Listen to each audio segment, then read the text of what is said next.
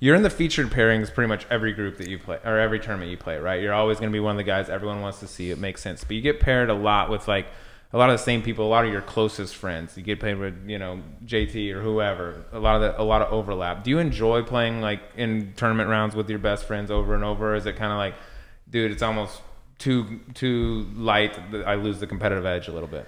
No, I, I like it. Um, and a lot of people have like they've given me a hard time for when me or other players have stayed to congratulate someone that's won. Um, to me, the people I want to beat most are my friends because I don't want them to have bragging rights over me. So, you know, if I go out and congratulate, you know, whether it be JT or Jordan or Bubba, whoever it may be when they win, it's like I'm already done playing. Like I've done everything I can do. So I can't change or have an effect. So like I'm pumped for you. You won this week. Let's go celebrate. But playing with your friends or, you know, JT and I were in the final group when I won um, Phoenix Open.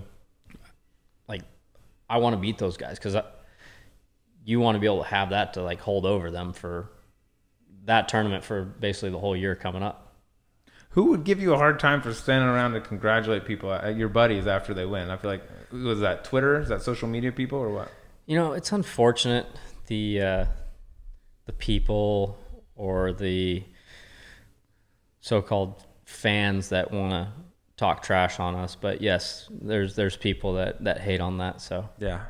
What an asshole sticking around to congratulate his buddy. I hate this. I mean, it's like I'm done playing. I'm yeah, sorry. I'm like, over. It's my buddy. I'm gonna say good I finished. Job. I can't do anything else. Like, yeah.